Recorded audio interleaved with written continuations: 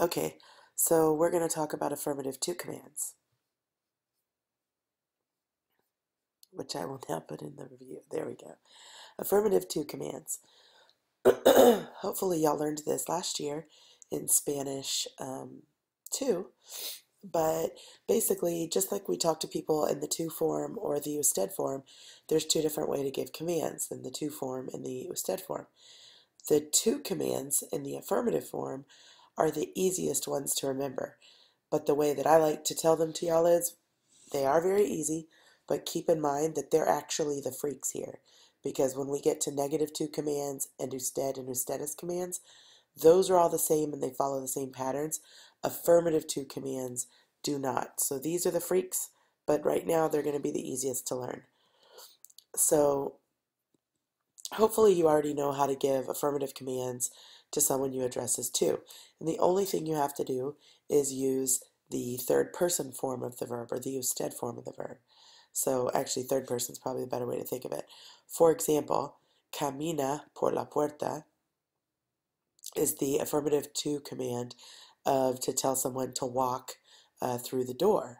So instead of caminas, because that would be the tú form of the verb, when I turn it into a command, I say it like this, camina por la puerta.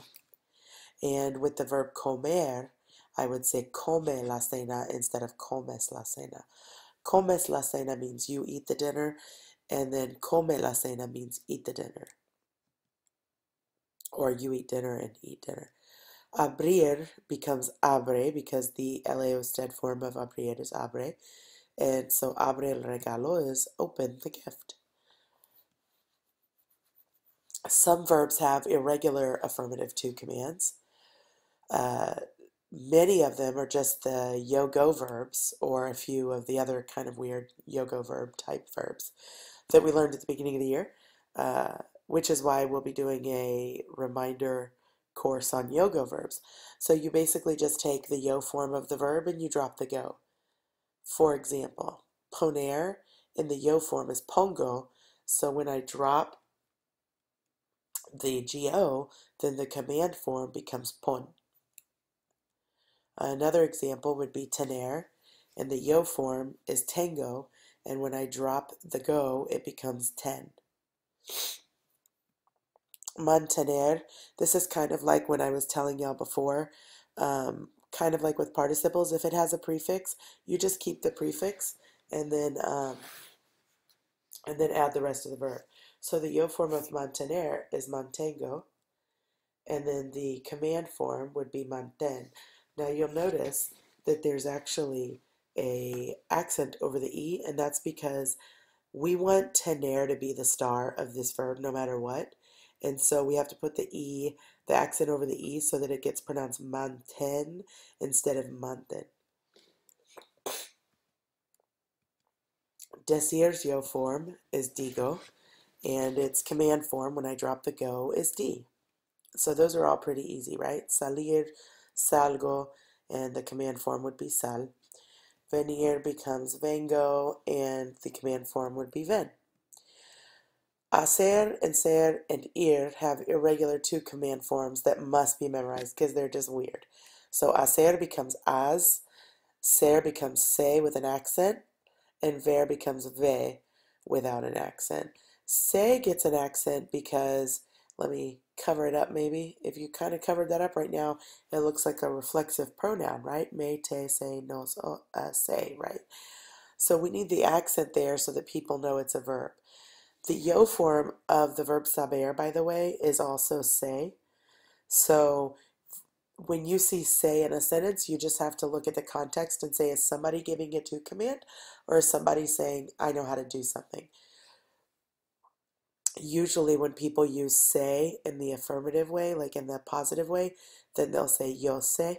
So that usually will help you understand that they're talking about I know instead of the the tú command. But here's the tú commands. Hacer becomes as, ser becomes se, and ir becomes ve.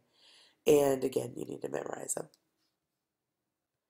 There's a nifty little um, there's a nifty little phrase that you can memorize to remember affirmative tú commands only. and that is that Vin Diesel has 10 weapons. But now I'll say it with a German accent, which is Vin D Sal has 10 weapons.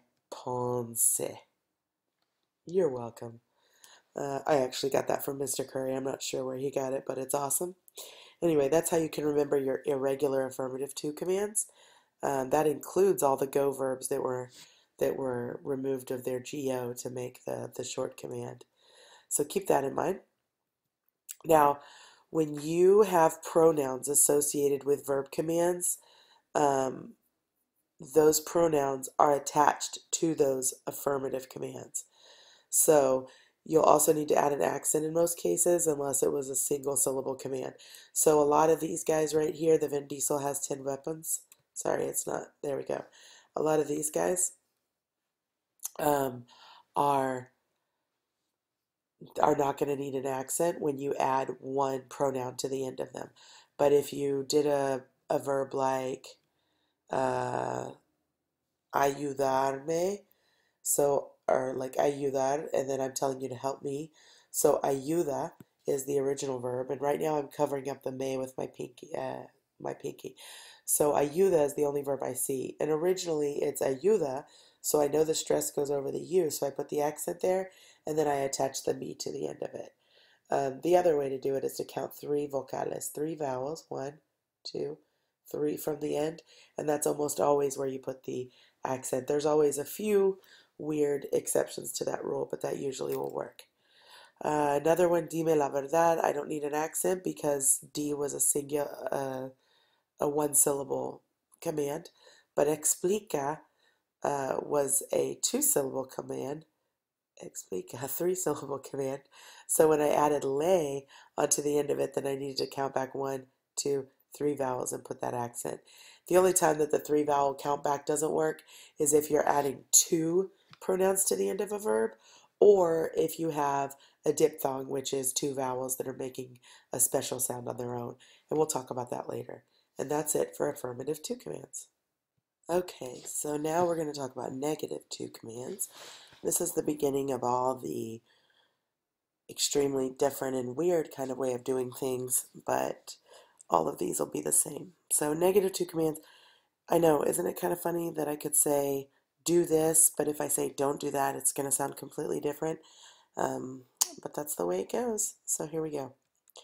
tú commands. You're going to use the yo form of the regular present tense verb, and you're going to drop the o, and you're going to add the opposite ending basically. So AR verbs would get ES endings and ER verbs would get AS endings. Um, IR verbs, the same thing. So basically, AR verbs are going to get ES endings, and ER slash IR verbs are going to get AS endings. So, um, let's see. The same rule applies to verbs whose present tense form end in goes, go, yo, or ho. And here are some examples. Salir would be salgas, because the yo form is salgo, and I remove the o and I add as.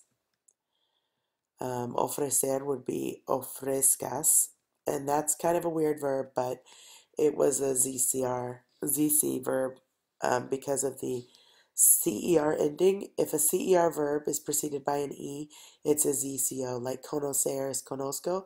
This is the same rule, and we practiced that at the very beginning of the year. Escoger is going to get a J, and the reason for that is a G followed by an E makes a H sound, which is what we want. But a G followed by an O makes a GO sound, which is not what we want, so we needed that H sound, so we changed it to a J. So no escojas comida con mucha grasa. AR verbs take the ES endings and ER and IR verbs take the AS endings, just like I said. Stem changing verbs are still going to stem change. So that's an example. This was encender and this was añadir. and this was poner, so it was a go verb. Now, verbs ending in car, gar, and zar are going to do the same thing that they do in the preterite. So car is going to become k, gar is going to become gay, and zar is going to become say. But because it's not the preterite and it's not the yo form, it's not going to have an accent on the E. I don't need an accent on the E. But this is exactly why if you made an accent error on those, it was a big deal because you were changing completely what the verb meant. So, tocar would become toques. No toques, sorry. Uh, and gar would become guess, so no llegues. And then zar would become ses, so no cruces. Some verbs, such as ir, ser, dar, and estar, have irregular tú commands, which this actually makes sense because ir in the yo form is voy, ser in the yo form is soy, dar in the yo form is doy, and a star in the yo form is a estoy. All of those have oy, so there's no O for me to take off the ending. There's an O and a Y, which makes it irregular. So that's how I remember those. And here's what they look like. Dar becomes, oh, actually, I'm going to show you all of them first. So dar, estar, ir, and ser. Dar becomes no tes, estar becomes no estés, ir becomes no vayas, and ser becomes no seas. Remember that pronouns are attached to affirmative commands, but with negative commands, they're actually going to become, they're actually going to become, let's see, where does it go? There we go. Before the verb. So affirmative commands, you're attaching pronouns to the end, but negative commands, you are putting the pronoun before the verb, which is what you should be used to right now.